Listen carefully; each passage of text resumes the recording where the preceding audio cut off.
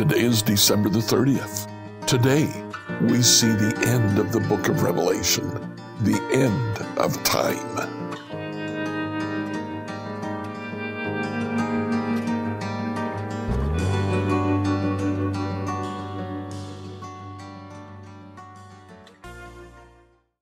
Finishing up our reading of the New Testament, read Revelation chapters 18 through 22. In Revelation chapter 18, Babylon falls. Babylon represents uh, the evil in the world. This is the, the statement that evil is coming to an end. In chapter 19, we see the Lamb and the bride of the Lamb.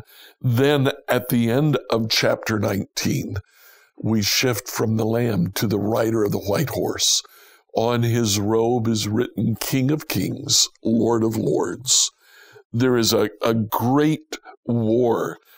But the interesting thing, when the, the leaders of the nations of the entire world gather to fight against the rider of the white horse, they start by calling the vultures for the ensuing carnage.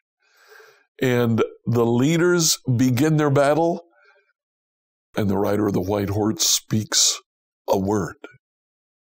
And the word is like a sword that comes out of his mouth.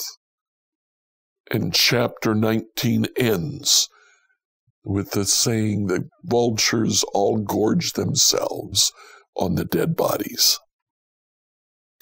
In chapter 20, Satan is defeated he is thrown into the lake of fire. In chapter 21, we see a new heaven and a new earth, and we go to live in the new heaven and new earth.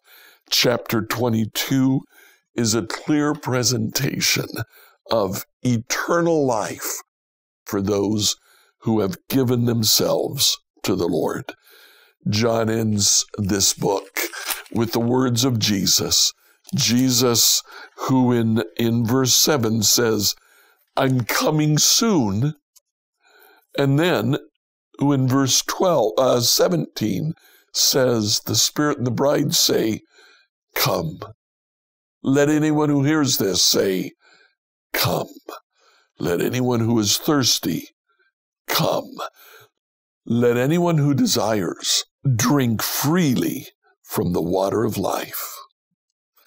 John ends saying, He who is a faithful witness to all these things says, Yes, I'm coming soon. Amen. Come, Lord Jesus. John finishes his book by saying, Jesus is coming soon. We live in the hope of Jesus' coming hope that one day we'll be able to spend eternity with Him. Thank you for being with us as we read through the Bible in a year. I hope you've enjoyed it. Enjoy this weekend in the church of your choice.